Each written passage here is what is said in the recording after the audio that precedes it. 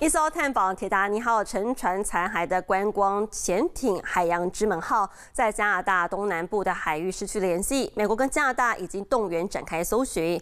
铁达尼号游轮在一九一二年撞上了冰山，沉没在加拿大纽芬兰东南方六百四十公里，大约三千八百公尺深的海底。而深水观光潜艇“海洋之门号”是以每个人二十五万美元（大约台币七百五十万）的费用载人潜入了深海，在铁达尼号四。周围来探险观察。今年第五趟行程自上周展开，预计二十号浮出海面。如今在半途就失去联系了。根据了解，这个潜艇可能搭载了五名的观光客，而潜艇当中的高科技设备可以维持呢这成员好几个小时的维生，以及呢让及时获救的几率提升。